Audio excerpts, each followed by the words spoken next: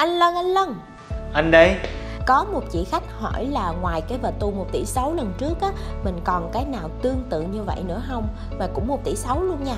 Để cho chị tặng người yêu chị á anh. Ai hi, có đây em ơi. Đây, đây là mẫu mới vừa về showroom của Kỳ Lân Luxury mình Virtu Signature S Full vàng và đính rất nhiều kim cương thiên nhiên.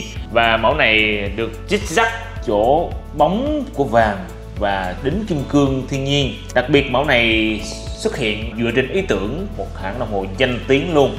Đó chính là hãng đồng hồ Seiko Kể cả phía sau phần khiên của chiếc điện thoại Vertu Signature S full vàng kim cương này cũng thiết kế họa tiết của hãng đồng hồ danh tiếng Jacob và ở phía phần đáy của chiếc điện thoại Vertu này cũng được full vàng và đính kim cương.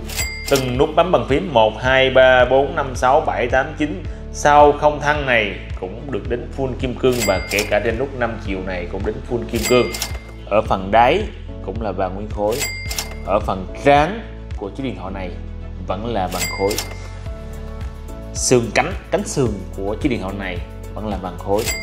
Toàn bộ toàn bộ tất cả chi tiết đều là vàng bao bọc xung quanh.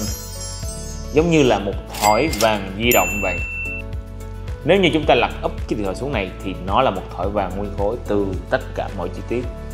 Còn khi chúng ta cầm chính diện để chúng ta bấm nút sử dụng thì sẽ lộ lên được màn hình. Ở phần màn hình này là bằng Sophia nguyên khối luôn. Và phần mặt số bấm, cửa sổ tâm hồn này được làm từ sapphire nguyên khối luôn. Và từng số bấm này được vẽ rất chuyên nghiệp của hãng Virtu và với mẫu thiết kế vô cùng đẹp và đẳng cấp này của hãng điện thoại Vertu danh tiếng Kỳ Lân tin chắc chắn sẽ là một siêu phẩm để chị mua tặng cho người yêu của mình. Kỳ Lân Luxury sang trọng, đẳng cấp, thượng lưu.